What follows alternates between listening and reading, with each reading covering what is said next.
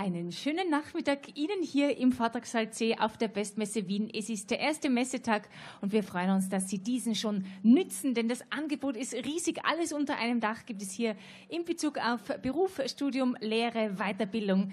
Alles Mögliche finden Sie hier tatsächlich super aufbereitet. Gehen Sie, fragen, fragen, fragen. Und wenn Sie heute hier waren und äh, so das Gefühl haben, das war noch viel zu wenig, kommen Sie, denn bis Sonntag haben Sie Gelegenheit. Es ist kostenlos, dieses Angebot wie gesagt, von 9 bis 18 Uhr.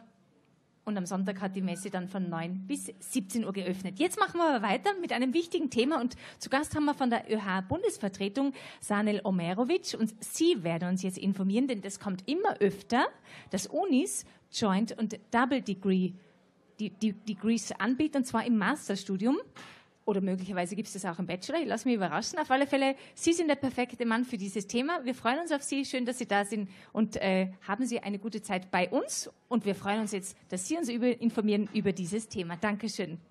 Gut, danke schön für die nette Anmoderation auch. Mein Name ist Sanel Omerovic. Ich bin eine der lieben Personen, was der Kollege schon gesagt hat, aus dem Referat für Bildung und Politik. Das heißt, wenn es wirklich brennt, studienrechtlich, kommt sie zu uns auf die ÖH ins Referat für Bildung und Politik oder Bildungspolitik. Heute habe ich die Ehre, also schönen Nachmittag auf jeden Fall jetzt schon mal. Heute habe ich die Ehre, euch da das Joint Degree und Double Degree, das ist, hört sich richtig, richtig cool an, weil es ja auf Englisch ist.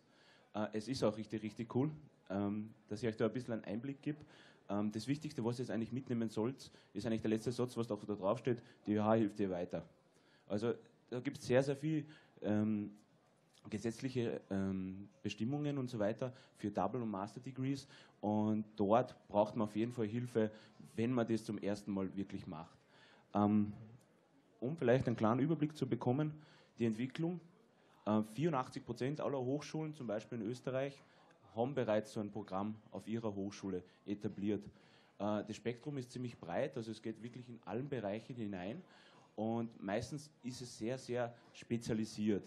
Ähm, der größte Schwerpunkt, also es war der Beginn, quasi in den, äh, in den 90er Jahren und es hat damals begonnen mit diesen Auslands, äh, Auslandssemestern quasi, das, was jetzt momentan euch bekannt ist unter dem Erasmus oder Erasmus Plus Programm.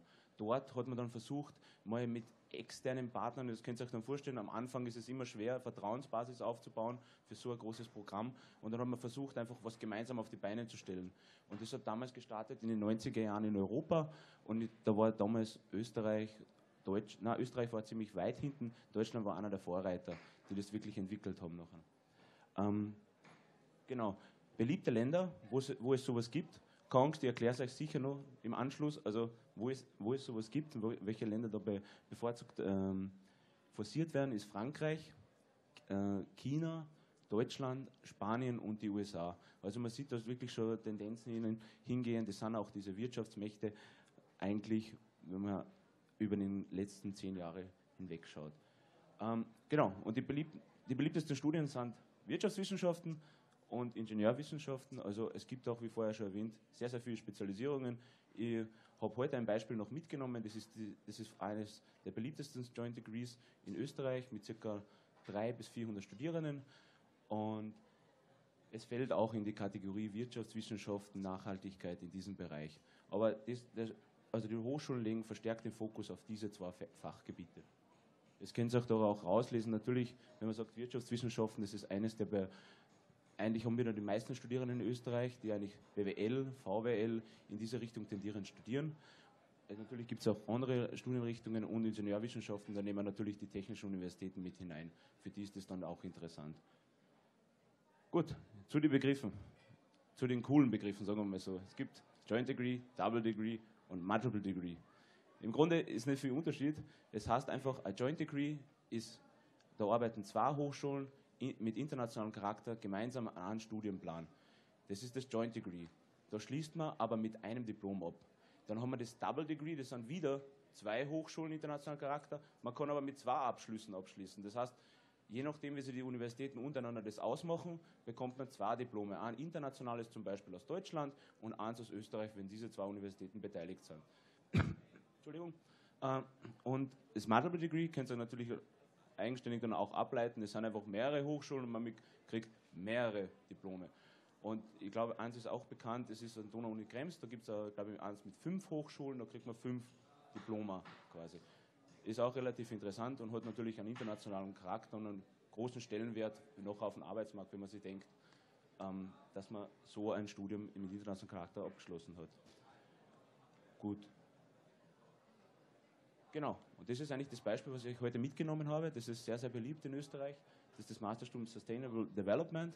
Also da geht es um das Thema Nachhaltigkeit, ein Zukunftsthema im Grunde, auch um Umwelt. Und das wird stark forciert von BWL-Studierenden und jetzt durch den Umweltsystemwissenschaften-Schwerpunkt in Österreich auch durch diese Studierende. Ähm, um ein bisschen ein Gefühl zu kriegen, wie eigentlich so ein Studium aufgebaut ist, habe ich es ein bisschen aufgesplittet. Also das Studium ist angesiedelt an der Universität Graz.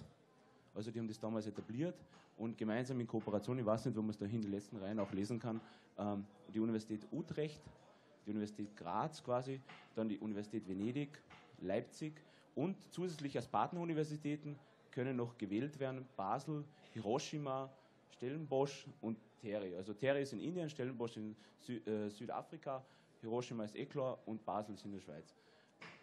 Also es arbeiten insgesamt acht Hochschulen gemeinsam an einem Studienplan. Wie, wie das dann in der Realität ausschaut, das ist jetzt da an der Folie, also das Masterstudium ist in vier Semester gegliedert, hoffentlich vier Semester, man kann immer eine Studienzeitverzögerung haben, wie wir von Kollegen schon vorher gehört haben. Ähm, also 2 plus 1 plus 1. Das heißt, man absolviert 120 ECTS im Masterstudium, 60 davon müssen auf der Hauptuniversität absolviert werden und jeweils zweimal 30 dürfen an einer Partneruniversität absolviert werden. Und dadurch hat man dann seinen Abschluss im Master. Dies, da kriegt man den Abschluss Joint Degree, das heißt, man kriegt nur einen Titel.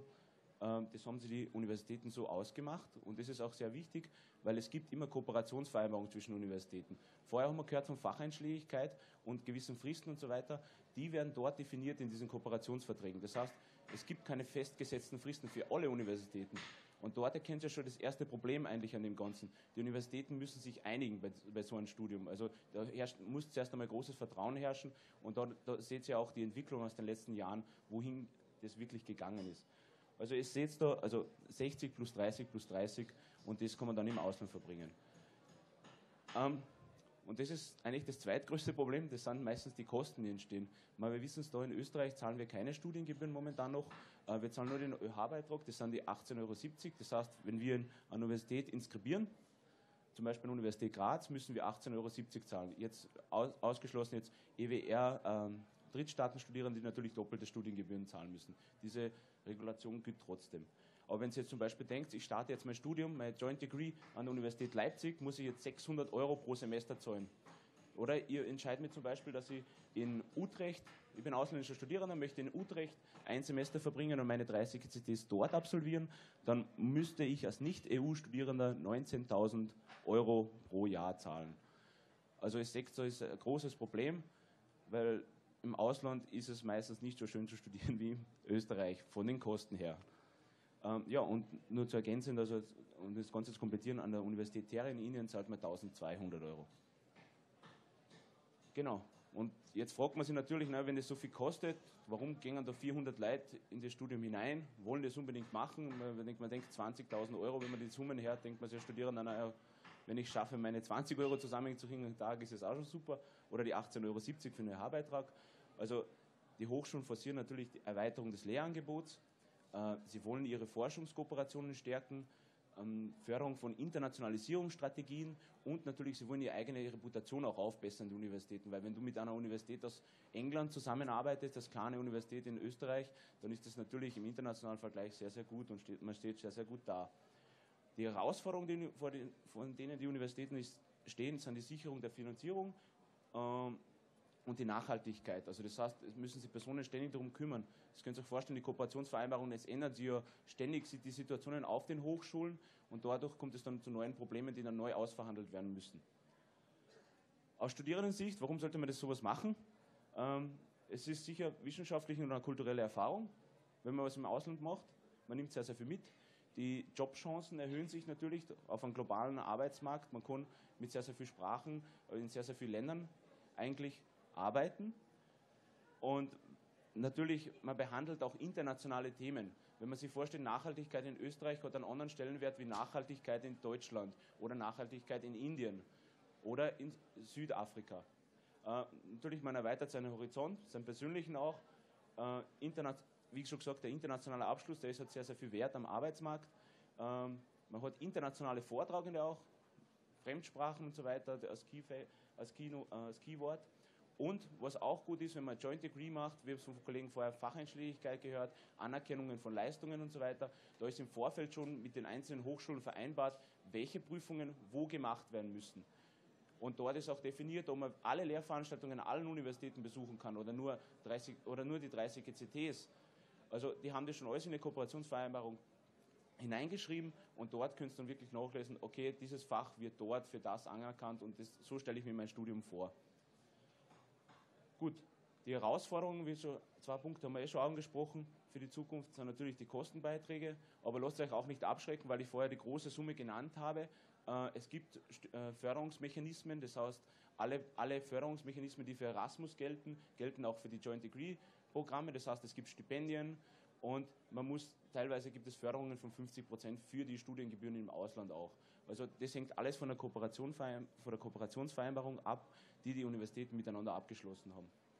Ja, und das größte Problem ist eigentlich die, äh, die größte Herausforderung. Wir dürfen das nicht Problem nennen, das ist eine Herausforderung, ähm, das sind die unterschiedlichen Gesetzes, gesetzlichen Regelungen. Das heißt, an einer Hochschule ändert sich jetzt auf einmal irgendwas, weil diese politische Situation in diesem Land verändert hat. Dadurch ändert sich in der Kooperationsvereinbarung natürlich auch das Gesetz. So kann es passieren, dass man zum Beispiel auf einmal aus dem Studium rausfliegt. Und da sind die Universitäten halt angehalten, da ständig in Kontakt zu treten und, und diese Vertrauensbasis halt aufzubauen, im Sinne der Studierenden auch. Weil man sich denkt, ich zahle jetzt 600 Euro pro Semester, da sollen die Universitäten doch das hinbekommen, dass sie dort gemeinsam miteinander reden. Ja, und auch ein großes Problem ist die Zulassung auch zu diesem Studium.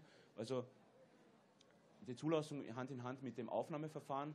Äh, es kann sein, dass man zum Beispiel ein Joint Degree auf fünf verschiedenen Hochschulen macht. Man kann natürlich auf jeder Hochschule das Joint Degree beginnen, äh, Joint Degree Studium beginnen, aber es könnten unterschiedliche Zulassungsvoraussetzungen gelten.